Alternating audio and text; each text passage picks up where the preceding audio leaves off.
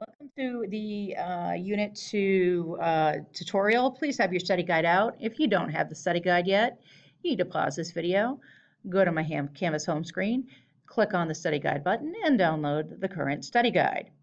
Your choice, paper or digital, but you need to have a study guide. Okay, off we go.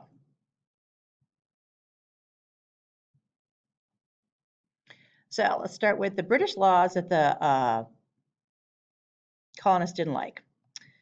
The proclamation of 1763, this is where we started the unit, right? The French and Indian War cost them a lot of money. Uh, the British were not um, very eager to go back to war with the Native Americans, so they draw a line down the Appalachian Mountains and say to the um,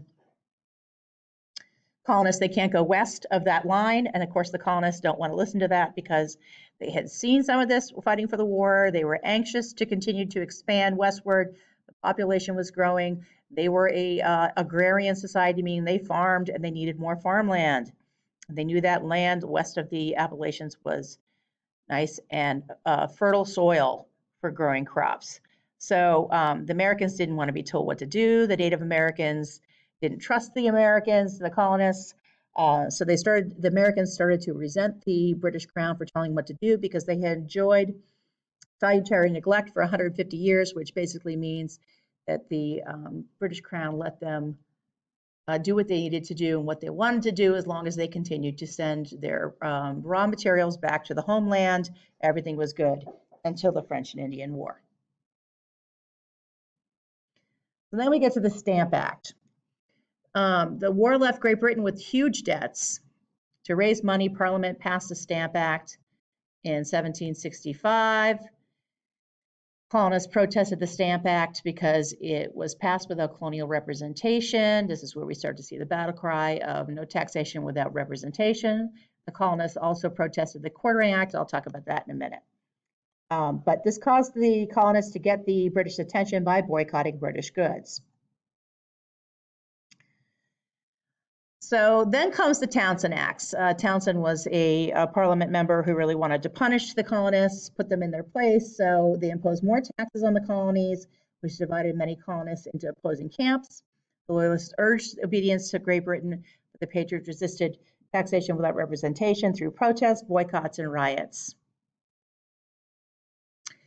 The Quartering Act required the colonies to house the British soldiers in barracks provided by the colonies. If the barracks were too small to house the soldiers, then local localities were to accommodate the soldiers in inns, uh, stables, bars, restaurants, and the houses of sellers of wine. And people did not like being told they had to house a complete stranger. Okay, writs of assistance I didn't talk about. Um, we took it off the test, but I just wanted to mention it because it will come back full circle to us when we get to the Bill of Rights. So the writs of assistance were court orders that authorized custom officers to conduct general, non-specific searches of premises for contraband, meaning illegal stuff. They didn't, it was like a warrant that they could just get, it was like knock on the door and be able to rifle through somebody's house looking for something illegal. Um, and it was like giving the soldiers carte blanche because it didn't have de- it didn't have details. So it didn't have a person's name on it, a date on it, or the location they, they had the right to search. So basically gave them the right to search anybody at any time that they felt like. As a response to the Boston Tea Party, Great Britain passes the Intolerable Acts. When the Patriots protested the tax on tea, Along come the Intolerable Acts, uh, forcing the colonies to give in to British. Uh, they were passed to force them to behave. The Patriots responded, responded by forming the First Continental Congress and organizing colonial militias. Now let's review some events. The Boston Tea Party, the Edenton Tea Party, the Boston Massacre, and the Declaration of Independence, not necessarily in that order. So let's start with the first event, the Boston Massacre, which started off as a confrontation between some rowdy uh, Bostonians and um, a soldier, a British soldier, that quickly escalated into a uh, from a street brawl into a straight up um, chaotic, bloody slaughter, um, with the British opening fire into a crowd of Bostonians. The event was used to energize anti-British settlement and pave the way for the American Revolution. The Boston Tea Party in 1773 on December the 16th, which is my birthday, it's, I always remember that. Um, the American colonists, frustrated and angry at Britain for imposing taxation without representation, dumped 342 chests of imported British tea into the harbor. The Boston Harbor has never been cleaned since. Um, the event was the first major act of defiance to British rule over the colonists. It showed Great Britain that the Americans were not going to be pushed around um, over taxation and tyranny, and they rallied the American patriots across the 13 colonies to fight for independence. The Edenton Tea Party in North Carolina was a response to not only the Tea Act, but inspired by the Boston Tea Party. And it was 51 women led by Penelope, Penelope Barker in 1774. It was an agreement to give up tea and to boycott other British uh, products. And of course, the Declaration of Independence is our breakup letter to King George and England that we are never, ever getting back together. Written by Thomas Jefferson and adopted by the Second Continental Congress, it states that the reasons the British colonies of North America sought independence in July of 1776, the king uh, interfered with the colonists' right to self-government and a fair judicial system.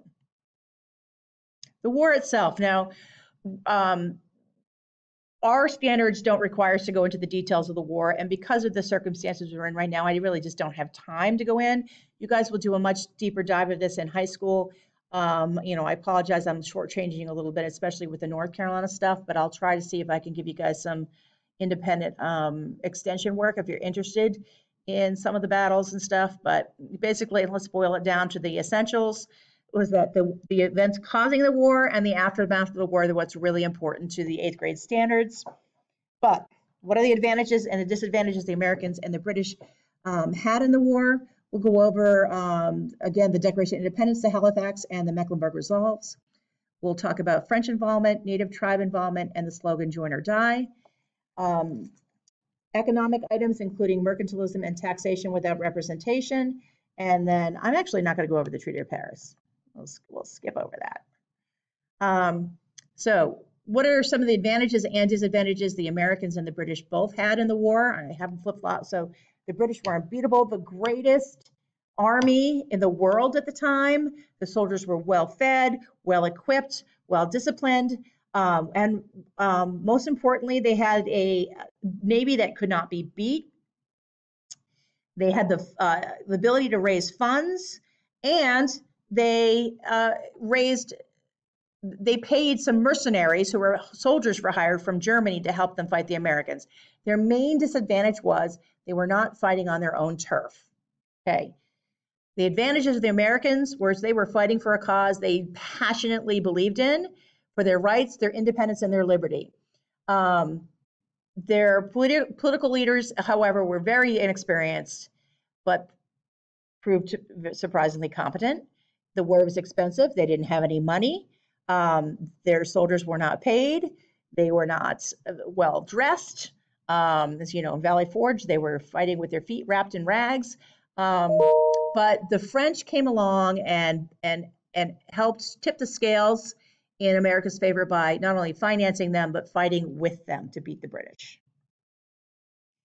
Okay, MacDac, we've already kind of talked about. It's that Declaration of Independence, um, May 20th, 1775, supposedly sent to Congress, but no original exists, and uh, no reports exist from the reading of it.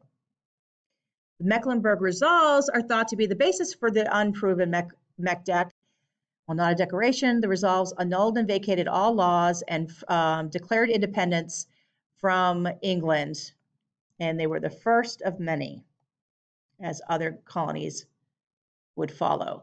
The Halifax Resolves, the first official government calling for independence from Great Britain as a state, copy was sent to the Second Continental Congress in Philadelphia within weeks. Other colonies drafted similar resolves calling for independence.